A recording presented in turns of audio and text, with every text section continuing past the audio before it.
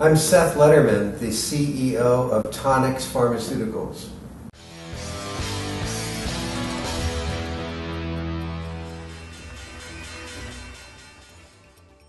Tonix is a specialty pharmaceuticals company, so we're developing prescription drugs, mostly to treat pain syndromes. Our products are non addictive, and that's a very important issue in treating pain syndromes. There's a big problem in this country, as you probably know, about people taking opiates, drugs like Oxycontin, to treat pain, and many of them get into problems with them.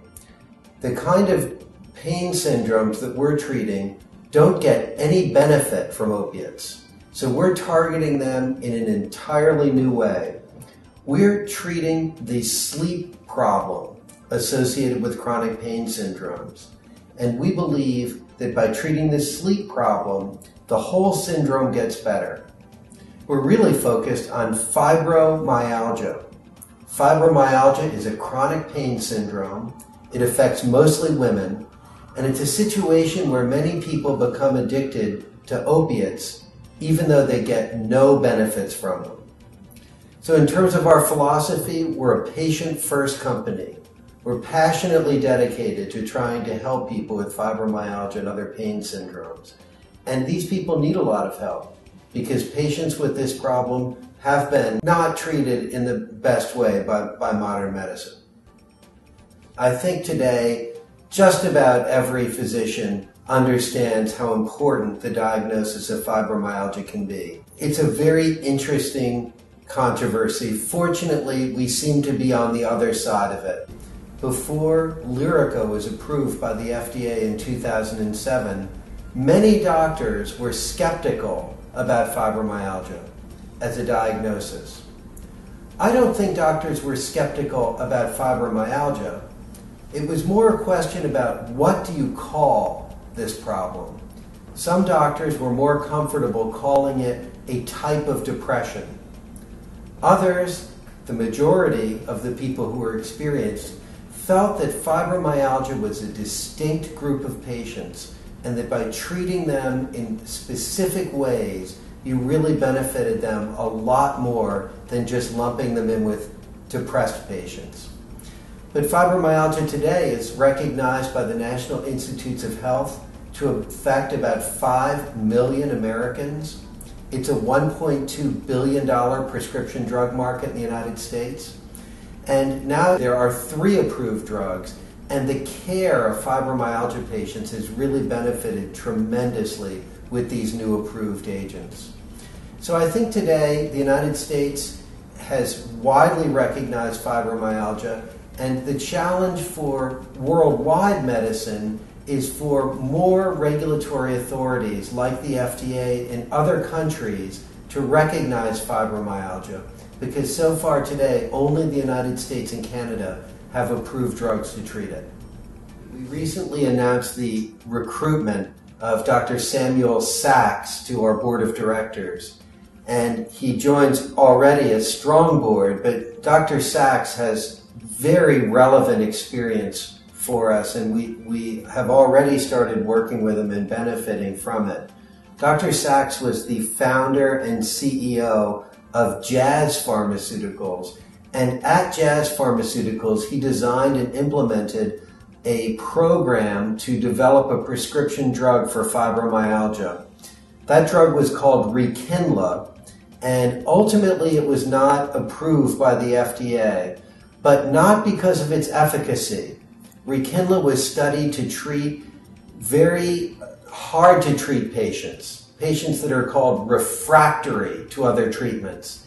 And in the studies that Dr. Saks and his colleagues at Jazz performed, they found that Rekinla was perhaps the most effective drug ever studied. Unfortunately, Rekinla had other issues that made it a problem in becoming a treatment for many patients. So we think that Dr. Saks will add tremendous value to our company.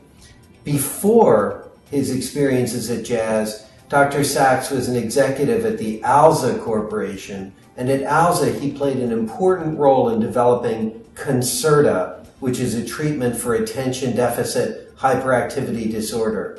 So, over a, a significant career in pharmaceuticals, Dr. Saks has made major improvements in the care of patients with mental health issues.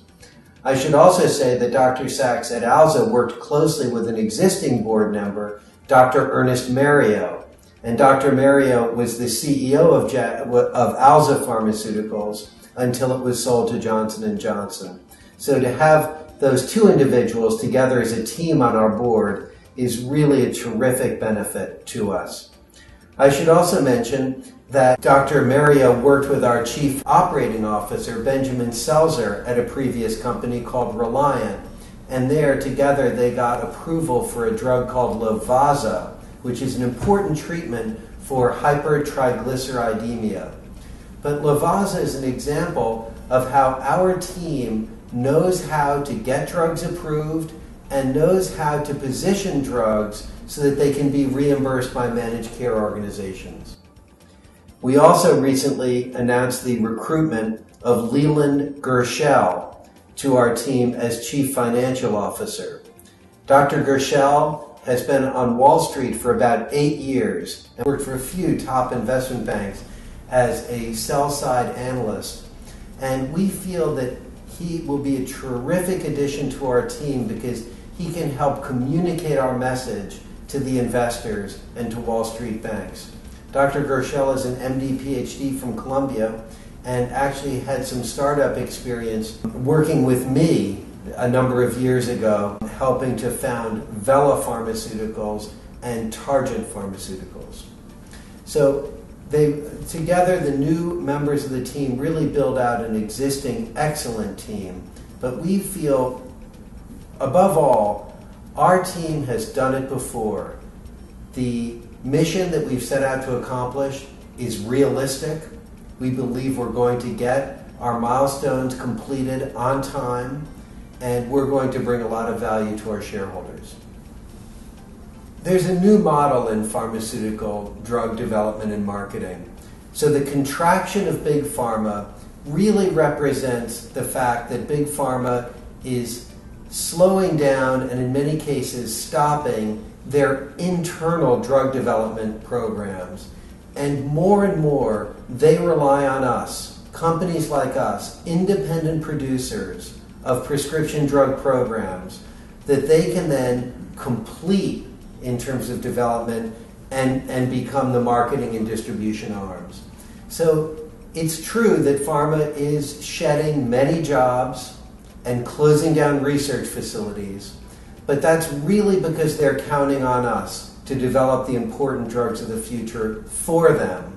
So it's, it's more likely than not that we will partner our drug with a big pharmaceutical company, and that way we can use their marketing muscle to take what we've developed from a scientific and clinical uh, point of view out to the broadest number of patients who can benefit from the treatment.